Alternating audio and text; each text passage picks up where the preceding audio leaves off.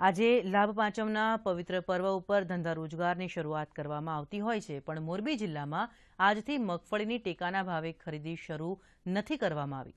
હવામાન વિભાગ દ્વારા કમોસમી વરસાદની શક્યતાઓ દર્શાવવામાં આવી હતી, જેથી સાવચેતીના ભાગરૂપે મગફળીની ખરીદી આજ શરૂ નહીં કરવામાં આવે.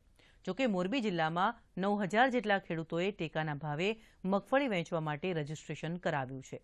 આવતીકાલથી ખેડૂતોને મેસેજ મોકલીને ખરીદી માટે બોલાવવામાં આવનાર હોવાની જાણકારી ખરીદી અધિકારીએ આપી હતી.